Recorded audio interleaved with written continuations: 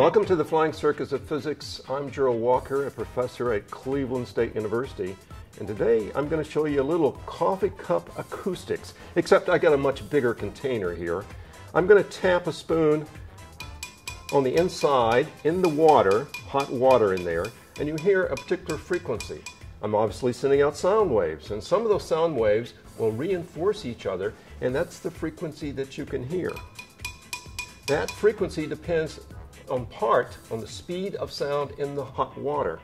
Now I'm going to change that speed. I'm going to decrease the speed by pouring in some coffee grains. Oh, it's not the grains that'll make the difference. Mm-hmm. it's the air that's attached to the grains. As soon as the grains dissolve, that air is released as little bubbles.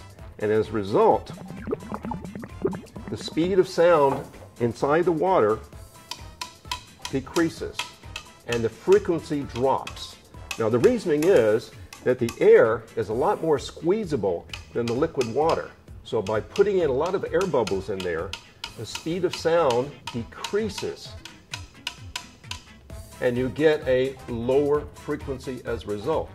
Now, if we waited several minutes, all that air would come up to the surface and the bubbles would pop open and we'd be back to the original frequency.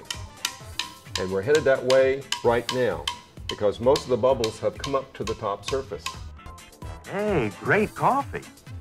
Thanks for watching. See you next time on the Flying Circus of Physics. Just remember, physics is everywhere, even in a cup of coffee.